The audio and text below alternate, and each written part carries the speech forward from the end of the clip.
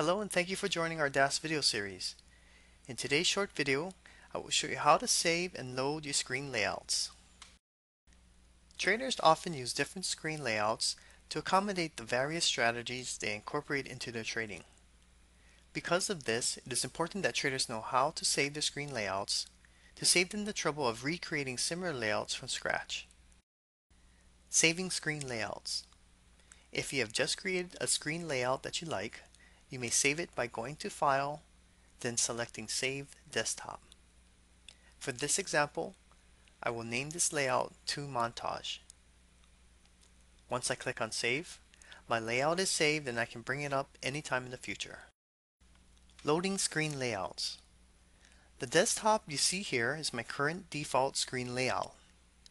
To load the screen layout I just created with the two trading montages, I would go to File, and select Open Desktop. I will highlight to Montage and click on Open to bring up my new setup.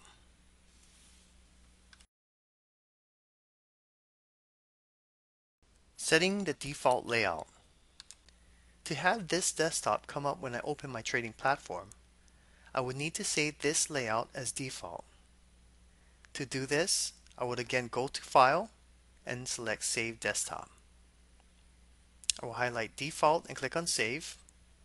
This will prompt a warning checking to see if I wish to replace the current default file. I will click on yes to complete the process of changing the default layout. Now when I open my trading platform, my two montage layout is immediately loaded upon logging in. Thank you for joining our DAS video series. We hope you have found this clip on saving and loading screen layouts helpful. Please join us on our other videos, which we cover other topics to help improve your experience with the DAS Trader.